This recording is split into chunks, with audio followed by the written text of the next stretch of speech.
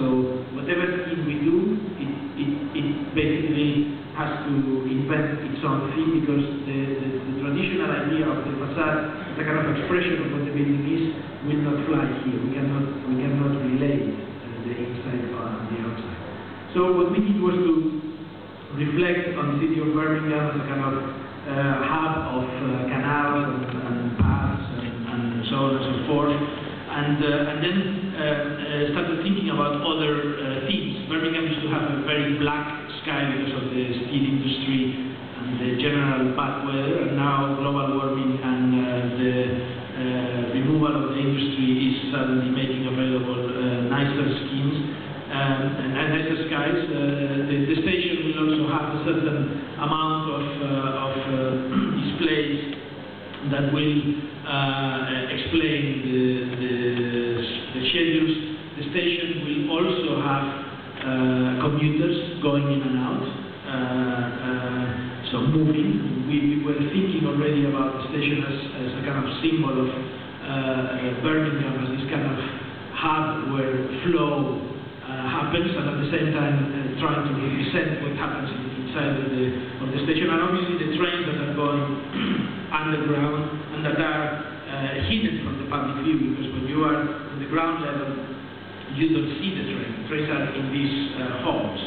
So what we uh, decided was rather than using the skin as a representation of the building inside, we were going to use the skin as, as a device that was going to show certain elements in this environment, in the, in, right in the middle of, uh, of Birmingham, that, uh, that will make some sort of expression, not only of the station, but also of the, station as a kind of uh, uh, paradigm of Birmingham as this hub of uh, connection. So the idea is that we have a scheme, a scheme that uh, is oriented uh, differentially depending on the on the distance uh, and on the specific location from which we are looking at the at the facade, and that systematically reflects the public sca- uh, space.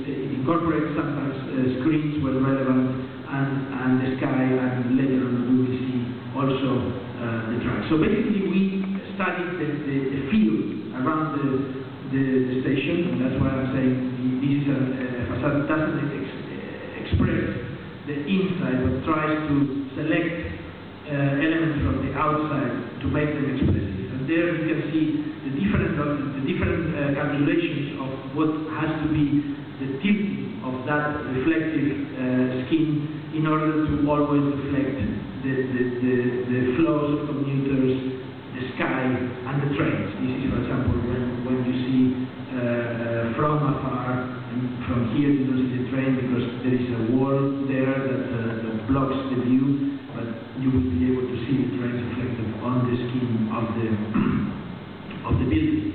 Uh, uh, this is, uh, and then out of uh, uh, looking at those at this sequence of uh, sequence of uh, sections, we morphed them together and we generated what is the the new expression of Birmingham New Street um, uh, station. This uh, warping uh, uh,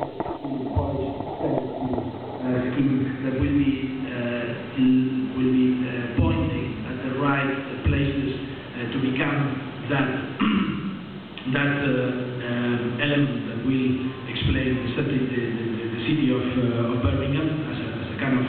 flowing uh, uh, space, and that will also change uh, uh through the day, uh, capturing uh, perhaps different lighting qualities that happen naturally around the, the, the station. These are some of the images of, of how we plan for the station to look like.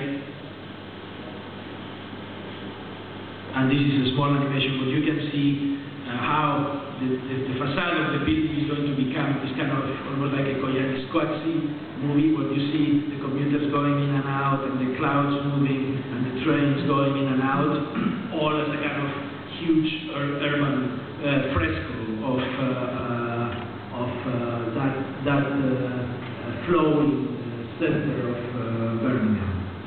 I think that we've seen enough of this, to move faster move to the next uh, category. Uh, uh, the spherical envelope is the type of envelope that is, has more or less the same dimension in every direction. And what is interesting about this envelope is that different types of spherical doesn't mean it's not spherical, geometrically spherical. It means it has the same, more or less the same aspect ratio in all directions. Uh, and, and, so these are also examples of uh, uh, what I call spherical buildings. There is a, there is a kind of idealistic uh, tradition of uh, spherical buildings. Spherical buildings are, are, are actually, in principle, impossible buildings. They don't work unless you have air conditioning and artificial lighting. so that's why they, they have this kind of important presence in the, in the history of architecture as ideal uh, buildings. But what's interesting about spherical buildings is that they uh, they have the lowest ratio, the lowest facade ratio. It means there is less facade per cubic, less square meters of facade per cubic meter of space contained in the envelope.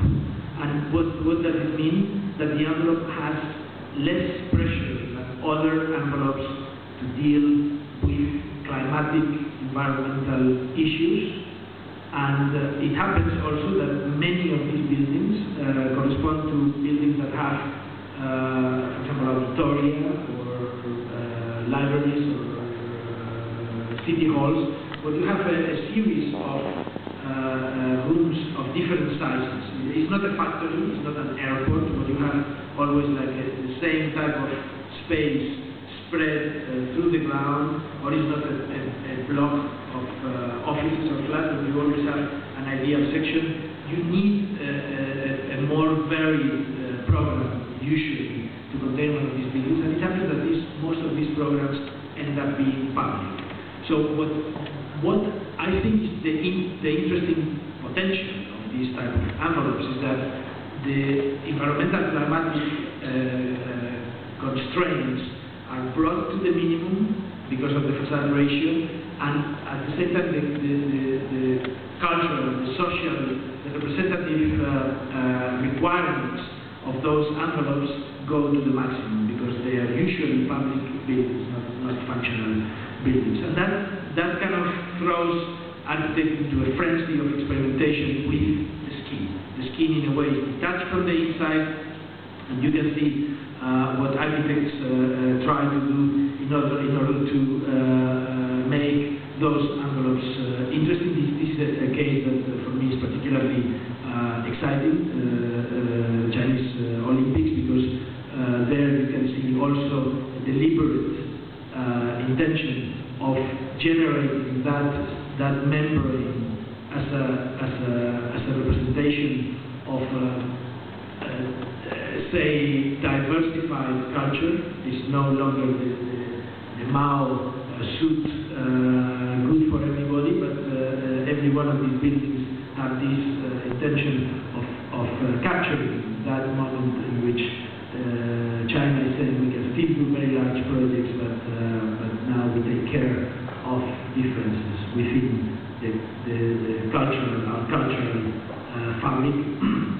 you can see that theme of uh, cultural differentiation, social differentiation being repeated uh, as if it is almost the, the spirit of the, of the times. Or all architects are trying to find alibis in order to make uh, this type of uh, envelopes. I, I am uh, going to show two buildings that uh, also that are not necessarily particularly this one is kind of hybrid between a, a flat horizontal and a and vertical, but, but the scheme works more like a, sorry, like a spherical envelope. a building uh, built uh, for uh, a developer in Leicester, uh, which contains uh, Cineplex and the department store. It's that building, and it's the anchor to the redeveloped shopping center in Leicester.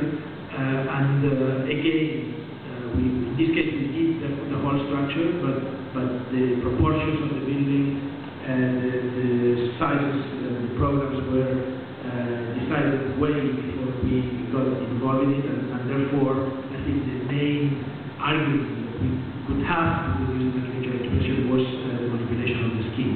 Uh, I'm not going to explain the building, it's a relatively conventional multiplex cinema and department store, but I think